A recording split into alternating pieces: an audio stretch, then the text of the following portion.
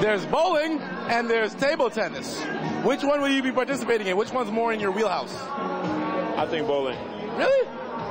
Yeah, table tennis is a little bit too intricate for me. The limbs are too long. too slow. All right, Jamal, thank you so much for everything you're doing. Now go party, have some fun. Go bowl.